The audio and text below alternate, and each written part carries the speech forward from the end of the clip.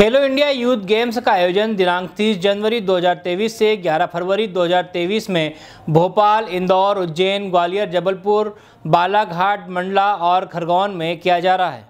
इन खेलों की प्रारंभ की श्रृंखला में भोपाल स्थित शौर्य स्मारक से माननीय मुख्यमंत्री जी के मुख्य आतिथ्य में दिनांक 7 जनवरी 2023 को खेलो इंडिया यूथ गेम्स 2022 की मशाल शुभंकर एवं थीम सॉन्ग लॉन्च का आयोजन किया गया है। खेलो इंडिया यूथ गेम्स की टार्च भोपाल से प्रारंभ होकर झाबुआ ज़िले में दिनांक 19 जनवरी 2023 को प्रातः 11 बजे पहुंचेगी। झाबुआ से अल्बर्ट मंडोरिया की रिपोर्ट।